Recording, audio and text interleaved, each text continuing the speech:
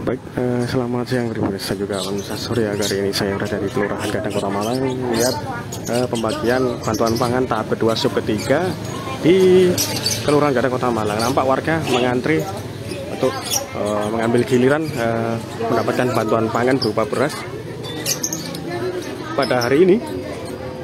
Informasi juga eh, total pada hari ini yang dibagikan di Kelurahan Gadang yaitu eh, sebanyak 661 warga yang mendapatkan Bantuan pada hari ini.